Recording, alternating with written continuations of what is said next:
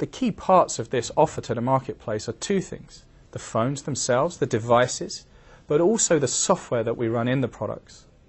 We call that our user experience platform. But what is a user experience platform?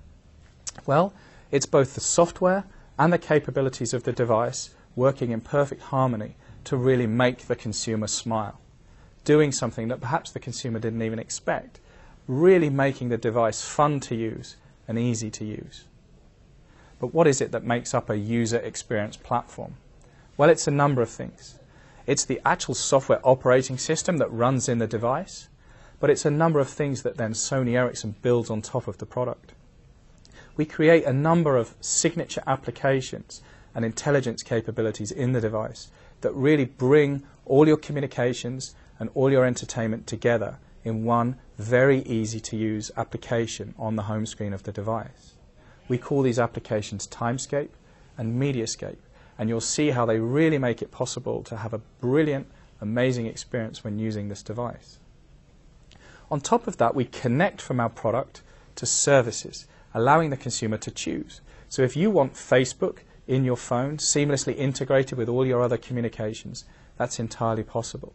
If you want Twitter seamlessly integrated, so you can jump simply from Facebook to Twitter to messaging and to other types of communications, all of those things are possible because Sony Ericsson has integrated the applications in a very smart way into the device. And then finally, it's about the way that the user interacts with the product itself.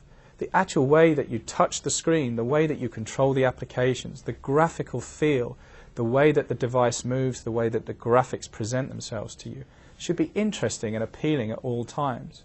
And with this new range of products from Sony Ericsson, and particularly the Xperia X10, we're going to provide a graphical user experience like nothing that's ever been on the marketplace before. Sony Ericsson is an open company.